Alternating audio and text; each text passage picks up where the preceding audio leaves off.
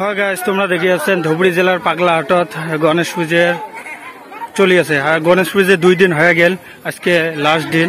আর তোমরা দেখি থাকো এদের, আমার পাগলা হাটতে। ধুবড়ি জেলার পাগলা হাটতে গণেশ পুজো এদের হয়ে আছে। দুই দিন অলরেডি শেষ, আজকে লাস্ট আজকে তিন দিন হয় নাকি, মুইও বেশি কিছু না জানো। এদের তোমরা দেখি থাকো। গাছ এদের তোমরা দেখিয়েছেন ধুবড়ি জেলার পাগলা হাটতে গণেশ পুজো চলিয়েছে। আর গণেশ পুজো দুই দিন হয়ে গেল অলরেডি আজকে লাস্ট দিন আর হয়ে আছে পুজো। আর তোমরা ভিডিওটা বেশি বেশি করে শেয়ার করে দিবেন। ভিডিওটা ভালো লাগলে শেয়ার করে দিবেন লাইক করে দিবেন কমেন্ট করে দিবেন।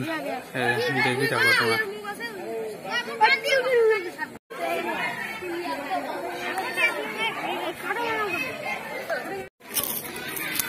গাইস ভিডিওটা ভালো লাগিলে শেয়ার করে দিবেন লাইক করে দিবেন কমেন্ট করে দিবেন।